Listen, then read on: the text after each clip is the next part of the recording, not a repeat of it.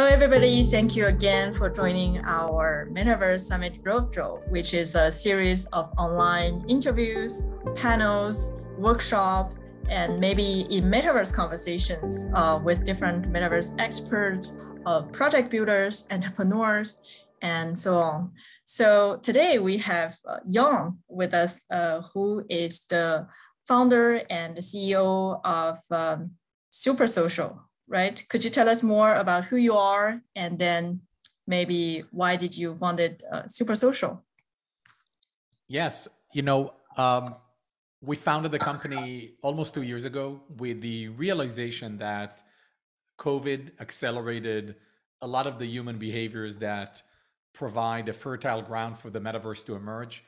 People stayed in their home, billions of people really suddenly stayed in their home, all kinds of ages and I think it was clear to us that the future of human experiences is going to be accelerated and be more and more in virtual spaces, virtual games, virtual worlds. And it's no surprise that games have accelerated so profoundly over the past 18 months. And we believe that this was the perfect opportunity for Super Social to start its journey really as a developer and publisher of iconic games and experiences for metaverse platforms. And so we have a big ambition of building the most iconic experiences that people are going to interact and experience in the metaverse. We decided to initially focus on a platform called Roblox, where we have been operating for the past 18 months. We have several experiences live on the platform. We have multiple more experiences in development. And of course, we are already starting to think about where do we expand beyond Roblox and are looking at other um, options. We are a venture-backed company. We have world-class investors that have been backing the company for the past 18 months since we started. We are a fully remote uh, and distributed organization. We have people working out of more than 20 cities around four countries and multiple time zones. And so we're really building a new type of organization in a new frontier, a new platform, new type of users, and we're really excited to kind of bring to life the, the wider vision of the metaverse and make sure that we can build experiences that would ultimately foster creativity, encourage inclusivity, and drive prosperity for millions of people. Mm-hmm. Um, it's a great way to put it, actually, when you are saying that you are the experience builder, because we hear a lot of uh, game builders, uh, metaverse builders, who are actually building this whole uh, virtual world or virtual avatars or virtual assets. But in the end, people want to be there also to experience, to have the story, right? So um, could you tell us more about your experience as a content or let's say experience creator inside of Roblox, which is kind of the leading platform in terms of uh, creator economy, right? Um, as a creator, uh, what do you think of the, of the creator uh, economy mechanism of Roblox? Some pros and maybe some cons as well on the record. I think I think that Roblox is obviously the most profound platform at the moment that has consistent characteristics of a of a metaverse environment. It's very social. It has a thriving economy. It has an end-to-end capabilities of allowing anyone to come and build experiences for a global audience of now over 200 million monthly active users. And I think that Roblox is definitely ahead of the curve, but Roblox is is obviously dominant with a younger audience at the moment. Majority of the users, I don't know exactly the numbers, but I would say around 80% to my assumption would be probably below age 18. So I think Roblox is an incredible entry point to the metaverse for a new generation.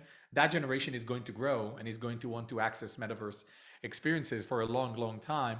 And so Roblox definitely has an advantage when it comes to that. And, you know, we have been really enjoying the incredible platform and capabilities that Roblox offer creators, if it's professional developers or individual solo developers.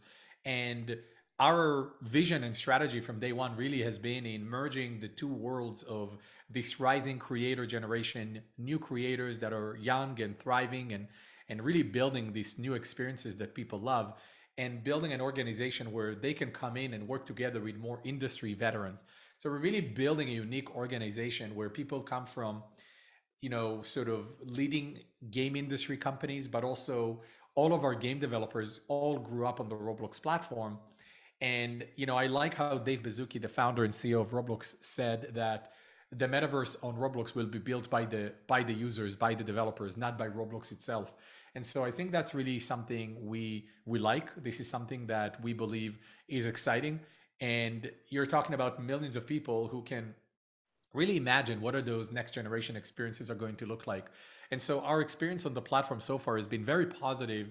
Having said that, Roblox has grown has been growing phenomenally fast and they obviously playing a bit of a catch up in terms of the the tools that they provide to developers in building businesses. If it's the sophistication of analytics or sophistication of advertising i think roblox has a great growth trajectory in terms of becoming more of a social network. So there's definitely a lot of things that i think roblox are working on and will continue to improve over the coming years cementing its position as a kind of leading platform and era defining platform of metaverse experiences initially for a younger demographics but i believe with the right experiences that demographics can continue and expand. Mm-hmm. so um, thank you for sharing um, uh, the experience as a creator in roblox. Um, but uh, in the description you mentioned like you are starting with roblox but maybe you want to go beyond. Or what kind of other let's say metaverses uh, are you uh, building things on? And then maybe what are the differences? Do you have kind of like a category? This is better for this kind of experience. That is more for like social um, or uh, different target in terms of uh, demographic, age, um, countries. I do think that we are def- we're definitely keeping an eye on a lot of different platforms and environments, uh, really looking at everything, anywhere from you know the Epic Games um, platform, Nvidia is doing really interesting things, Meta and Horizon with what they're building, Unity and what they're building, Microsoft and Minecraft. Obviously, you cannot rule out Apple, who basically still very much own the access to consumer devices and so we're, we're keeping an eye on uh, all of these different companies and what they're building. I believe that really be a profound technology as we continue to grow our offering. Um, I don't know to what extent a company like Roblox or Epic would enable integration of blockchain and, and NFTs and so on and so forth. But I do believe that people, users, this new generation of users is going to want ever more control of the digital assets that they purchase, just like in real life. In real life, when you buy physical items or assets, I can drive my car in Columbus, Ohio, and I can drive my car in New York. I still own the car. The cities don't take my car depending on if I leave the city. And so, and a country the same, right? And so when I land in, let's say I come to visit in Paris, no one takes my clothing in the airport in Paris and say, oh, okay, now you landed in Paris, you need to give your clothing back to the US government. Mm. No one does that, right? And so I don't think the, the digital realm should be any different. I think when we have and we invest and purchase virtual items for ourselves, if it's in games or other social platforms, I believe that ultimately we should be able to move around and take those assets with us to different places because if the metaverse vision is going to be realized where it's a realm of possibilities that is the next iteration of human experiences on the internet something that is just more immersive more social and more expressive of our virtual personalities. It makes sense that we are going to be able we should be able to take those virtual items that define who we are and define our avatars with us to multiple places. And so that's kind of the longer term vision that that i have for the metaverse and what gets us excited. And you know blockchain can play a really important role in that and enabling that sort of interoperability of assets to what extent all of the platforms are going to integrate that, I think that's a big, big question. Uh, all of them are trying to kind of protect themselves. So I don't know if and when this will happen. So it may well be that a company like Super Social is going to have to build from multiple different platforms and enable interoperability within those environments and wait until you know there is an open metaverse where really users are going to be able to take assets from one place to another but i do think that's a, a very long long term prospect mm-hmm. Yeah. Um, so um, I was um, checking the first experience that you developed uh, on Roblox. Uh, is it called a uh, Ghostopia, right? So yes. I'm really curious about the background story uh, of this experience. but uh, maybe in a more high level sense. Um, every time, how do you decide what kind of style, what kind of experience, what kind of audience do you want to have? Um, maybe uh, just in the general sense, um, from my experience in gaming company, it's all about uh, PGC, right? Professional generated content.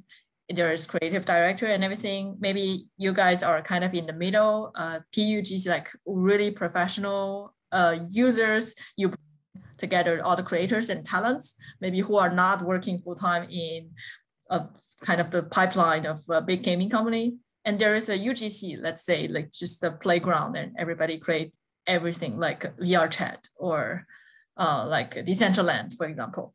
So um, I'm wondering to which sense we need to uh, centralize the creative decision and to which sense we need to leave users choice. And that's an open question of the metaverse. You know, I think every company has its own strategy and philosophy. I can tell you we have a very unique model where we don't have centralized uh, game development. We operate with a lot of autonomy in terms of the creative direction of the games and experiences we build. We give a lot of power and autonomy to the creators, to the developers to figure out what that they believe is going to be a great concept and a great experience for users. We have a process of what type of principles we care about when we build experiences.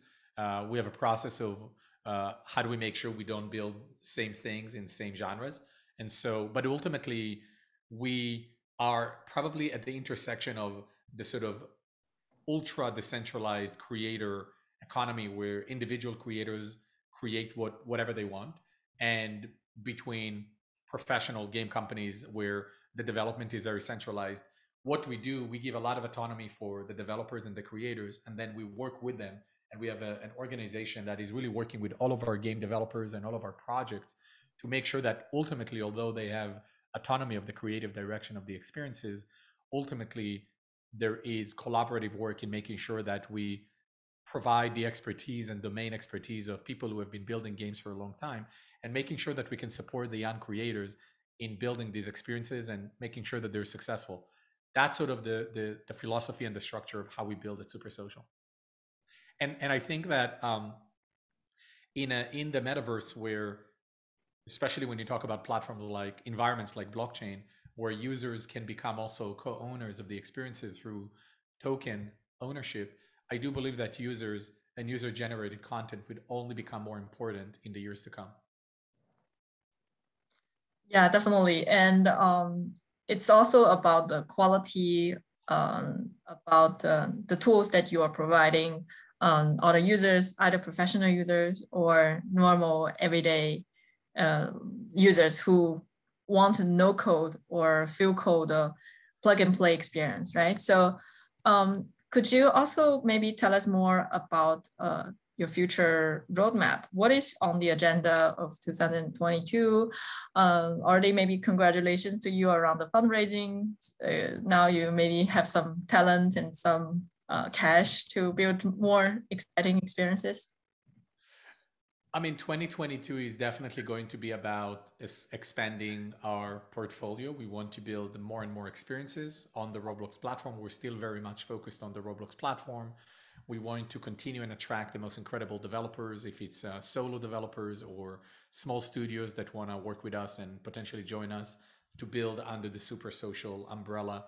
We definitely look for multiple opportunities on the Roblox platform of how we can bring more amazing developers and experiences to be built under the super social umbrella for the Roblox platform.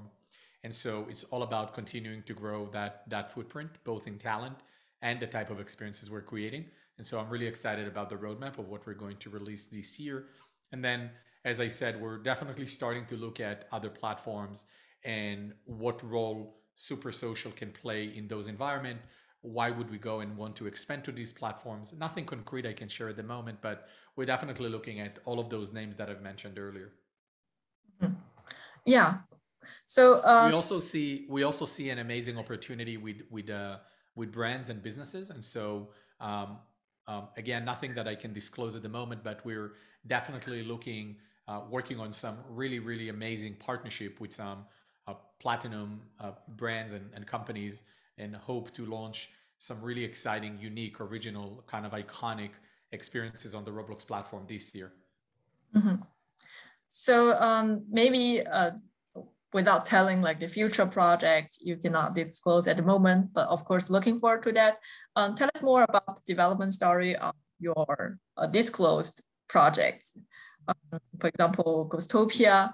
Um, how did you design uh, the stories, the creators? Of course, inside of the Roblox world, maybe you need to fit into certain uh, stylization um, to be coherent and also maybe regarding the age, uh, the demographic of the, the audience, you also took that element into consideration. So how did it go? So what? You know, again, our process is really focusing on where can we innovate? Where can we differentiate ourselves? Um, we want to make sure that we not only build for the present of the platform, we want to build for the future of the platform and where the platform is going, continuing to age up the demographics. And so I think that what we do is really, again, going back to our first principles, we always make sure that we build with lean teams. We uh, give them autonomy of the creative direction of what we come up. And that could be Ghostopia or Ballista or Pirates versus Ninjas and any experiences that is already live. That's sort of the way we pursue. We we started this initiative and kind of a framework of development called Super Social Labs, where we really bring in amazing developers from the Roblox community and we empower them to come up with the ideas, with the concept, and then we have a whole operation and a process of how we bring these ideas to life. And so we do concepts and game jams and really experiment with what we believe is going to be, you know, interesting and unique. And so we're we're obviously looking to sort of scale that activity and as I said, build more and more original experiences but these are the principles. Each of the experiences we've built and have, have been built in kind of the same fashion. A lot of creative autonomy to the creators, trying to work with small, nimble teams, give them the support and the operational expertise that the wider company has with our industry veterans and and then making sure that we're building things that are really different and, and innovative. Mm-hmm. So um, for me, it sounds like an incubator model, but it's more like an early stage uh, talent incubator. Um, maybe uh, the talent will come with uh, what kind of assets, maybe the idea only, or uh, maybe their previous experience. You will do the ideation together. Uh, to which stage are you uh, really like go through the journey and adventure with the creator? we we we bring creators that has proven experience but don't have idea yet. Uh, so we can start completely from scratch. We bring developers who already have something that they're developing and they want to join super social and build it with us. We look for developers and small studios that already have something live and again they want to grow it and expand it and, and join super social. Um, so we're really looking at interacting with creators and developer at any stage of their development. Um, to a large extent, the experiences we've been building so far very much have been experiences that we've created from scratch with the developers once they joined us. And we're going to continue and do a lot of these. And we're, as I said, looking to expand to sort of other modes of building with creators. And, um, you know, we just want to bring the best, the most exciting talent to build the most innovative experiences on the platform. And we are kind of very flexible with how we do that. Mm-hmm. Yeah, so I'm imagining also like beyond um, Roblox, um, when we are talking about different uh, other metaverses, uh, we are talking about their basic model is around the uh, land selling and land renting. So as a creator, you often have to build your either architectural story or experience on top of a certain parcel, right? So for you, is it disruptive for um, the business model of Roblox and uh, um, would you change the incubation process or the way of functioning with a creator in this type of uh, uh, metaverses? I, I don't I don't think so. I think our principles of development would apply to any platform that we go we would go into, uh, any engine we would build on. Um, I think our principles are strong and cohesive. I don't envision maybe there's going to be like um, small adjustments, but in principle, I think the the way we build would apply to any environment that we would expand to. And look, I think ultimately all of these virtual lands and all of that, it's all nice. But at the end of the day, we need to build game worlds that people are going to want to come back and play and enjoy and have fun. I don't think a virtual land is meaningful if there isn't a thriving community of players and there is a kind of exciting game world that people want to come to and, and, and, and do things and play and socialize. To me, a big part of the metaverse is really about playing in a ever more immersive way. You can transport yourself from one place to another as an avatar. I think it's about socializing in a new way. It's about being having a sense of belonging, and I think it's about expressing yourself through the avatar that you are and the type of things that you do. Uh, these are sort of, in my mind, the core components, and and I think the technologies need to serve that. It's not about the technologies. I don't think it's per se about blockchain. No one cares about a blockchain game. I think people will care about a great game world and how blockchain potentially enable them other things. I don't think five years from now anyone is going to call blockchain gaming blockchain gaming. No one called, um, you know, uh, internet gaming internet gaming after five years. Mm-hmm. And so, and so, I think ultimately we're going to access different metaverse experiences from different devices and the technologies if it's web 2 or web 3 uh, will need to enable new type of mechanics that resonates with users and communities and players otherwise if you don't have users you don't really have anything. So we keep our focus on always making sure that we are building things that people would enjoy engaging with and hopefully experiences that are really meaningful for people to play and, and come back and spend you know money on. That's sort of the the basic premise ultimately of any product being built. It doesn't matter if it's on roblox or if it's on blockchain or if it's on epic at the mm-hmm. end of the day we need to build something great that people appreciate it makes business sense that's sort of the core of, of i think where our focus is mm-hmm. uh, it's true that um, among the four uh, main topic of uh, metaverse summit uh, we have like gaming, uh, 3D, and mixed reality and virtual world, um, decentralization and Web3, and social interactivity. So those other uh, blocks, a lot of people in the industry are mentioning every day, a lot of news, a lot of investment.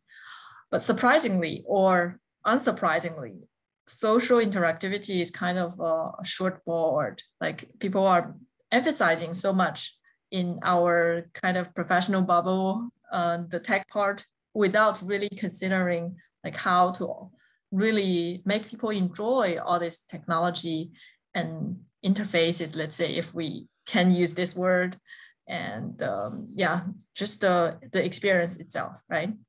Yes. Look, I think that we get really bogged down and focused on the technology VR, AR, blockchain, consoles, mobile, at the end of the day, it doesn't really matter. People will access metaverse experiences from multiple different devices and form factors. I think all of these different technologies that you've mentioned, if it's VR and AR and console, PC, we will continue for the foreseeable future to access mm-hmm. products and, and, and experiences through all of these form factors and devices. None of them is going away.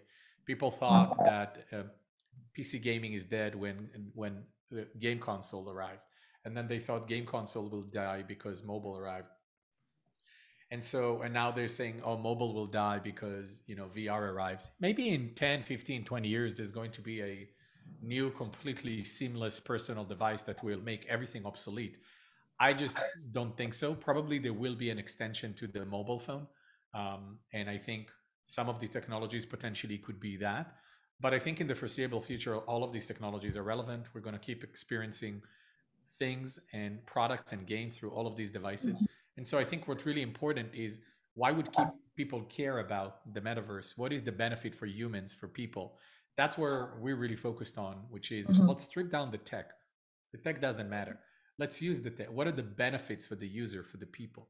And so when we think about experiences, we are really thinking about it from a place of how can we create experiences that are innately social, that are insanely engaging, that are beautifully designed that people would want to be part of because I believe mm-hmm. in the metaverse, we can really express ourselves in a whole new way, socialize in a whole new way, play experiences that are completely new. And I think that's what's beautiful. That's what's amazing for me. And it doesn't matter if you access it from a mobile phone or VR. It could enable different mechanics of the experience, but ultimately it's about, in my opinion, it's about the, those core benefits for people, which to me, again, it's about powering personal cre- cre- creativity. It's about fostering an inclusive environment where people can come together. And it's about driving prosperity and enabling people to not only play, but also, you know, generate wealth for themselves potentially through the assets that they purchase. Yeah, definitely agree with uh, what you said. Um, can we uh, step a little bit further uh, to see like what's the experience we are talking about? What I mean is like in the gaming world, we see this uh, classic gameplay. Okay, we have the quest, we have uh, different level, we can go to different parts of the map. Uh, those are very classic. And when we are uh, talking about experience in the metaverse, we're also talking about like living people uh, the possibility of uh, doing whatever they want, not according to the scenario, right? So could you tell us more about maybe your key learnings uh, building those experiences in the metaverse instead of like uh, the gaming, let's say, in a traditional way? It's it's it's truly truly different. You know, I think that when you look at experiences on the Roblox platform, um, it's not like it's it's it's almost like it's a social media platform that revolves around games and play. Um, typically, most of the most successful experiences on Roblox are very open play.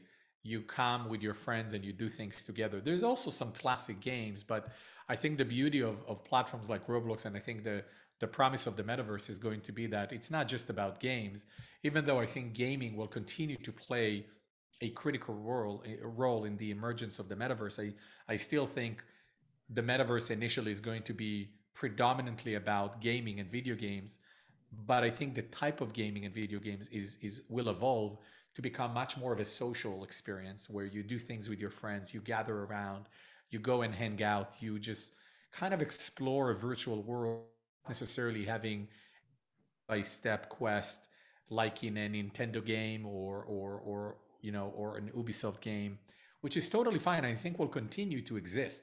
People will always want to play quest-based games. I don't think it's going anywhere, right? It's just like Dungeons and Dragons have been around and it's still very popular.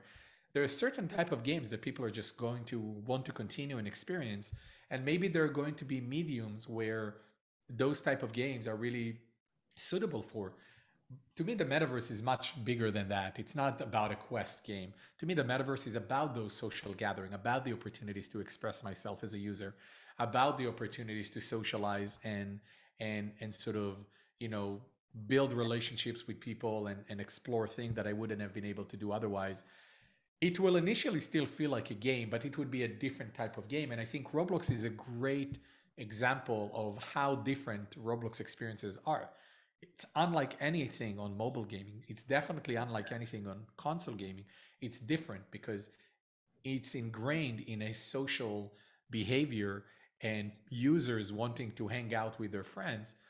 And I think the metaverse is going to be so much more about social experiences, almost the evolution of social media, than just sort of gaming. And this is why you see gaming companies building, aspiring to build metaverse, and you see social media companies like mm-hmm. Meta working on building a metaverse. And I think everyone will recognize that the metaverse is it's about human interaction, it's about human experience.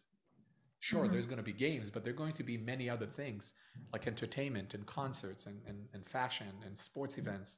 I think there's going to be so many more things, educational experiences.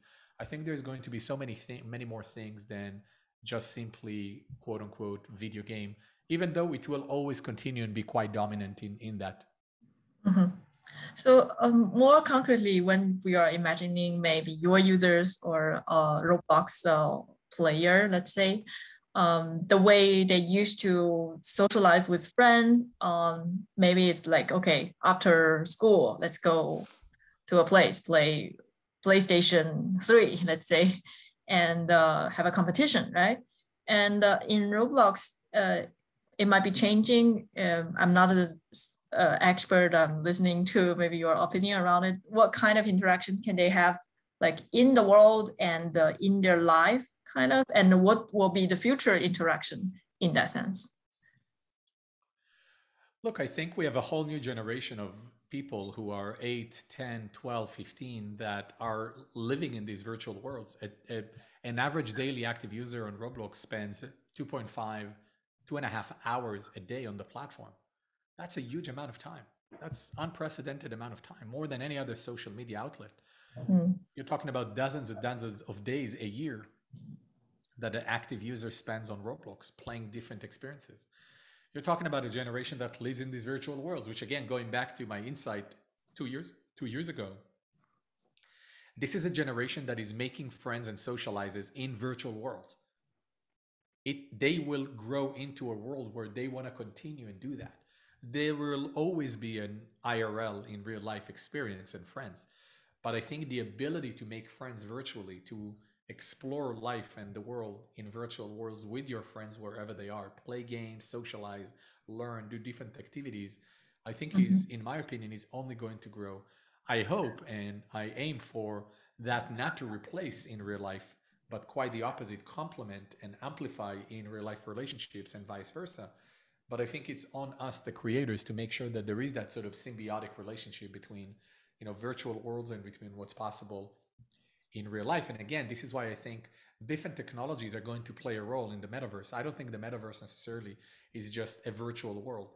I think the metaverse could also really be the layering of the virtual content inside real life through augmented reality glasses. So that's why I'm saying I think for me the metaverse is so much more than just uh, uh, living inside a virtual world as an avatar, I think we are going to be able to bring virtual things into the real life through these emerging technologies. And it will be kind of a quite a symbiotic relationship between all of them. Uh, yeah, so um, we were we've been talking about user and user experience, um, but uh, we can also talk about maybe IPs um, and brands, right? So mm-hmm in the traditional film entertainment uh, gaming world, we have an IP, a franchise, and then we will try to brand it everywhere uh, to sell the product. And we will also try to sell like, um, how do you call it, franchise product, um, like Disneyland uh, entrance and everything. So uh, what do you think uh, the brands can evolve, the IPs can evolve in the metaverse? Are you thinking of bringing the Ghostopia IP elsewhere um, with more omnipresence in the future? Absolutely. I think there's definitely going to be opportunities that we're excited about bringing our existing IP from the Roblox platform outside to other platforms and other mediums. And I believe we're going to have opportunities to bring IP of other partners into metaverse worlds where we are uniquely qualified to build things and so and and you know i think it would be amazing to partner with people who have built AAA games on game console like Assassin's Creed for example and and work with these creators and figure out what does Assassin's Creed looks like on a platform like Roblox? Should we think about bringing something like Assassin's Creed to the Roblox platform or you know uh, or GTA or any other kind of big IP or or uh, entertainment IP like Disney or Warner Brothers? I definitely think that there's going to be opportunities, which we're really excited about building new IP from scratch, which we've been doing already, and also looking at existing IP and how do we really use that IP to build unique, sort of native metaverse experiences. Yeah, thank you. Thank you, Yon, for sharing the experience and the story around the Supersocial. And looking forward to having more in metaverse experiences um, and uh, in Roblox not only, but also in the other metaverses. it's only the beginning. Yes, definitely. Uh, thank you for joining our Metaverse Summit uh, roadshow and hopefully see you in person as well um, in Paris in July the 16th to the 17th. That would be wonderful. Thank you again.